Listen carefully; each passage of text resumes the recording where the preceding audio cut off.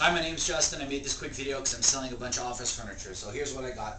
This desk right here is a designer desk. Um, it was bought in the States. It's got, uh, you can actually shift the desk to a left reserve, a right reserve, or a centered reserve. It's got a keyboard drawer on it as well.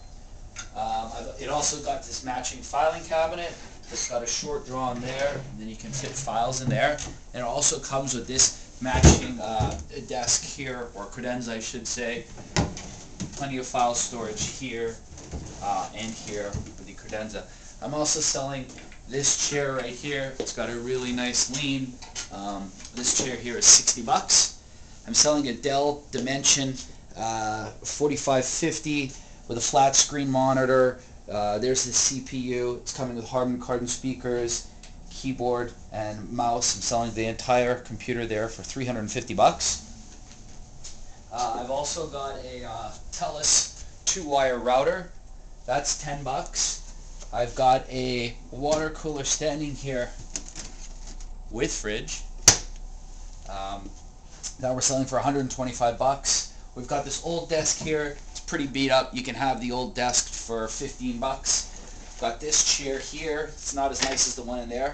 Therefore, this one's only 20 bucks. Also got this, uh, these shelving units here. You can see there's two that are identical. Um, these are awesome shelving units for putting books, anything like that on there. The shelving units are 25 bucks each.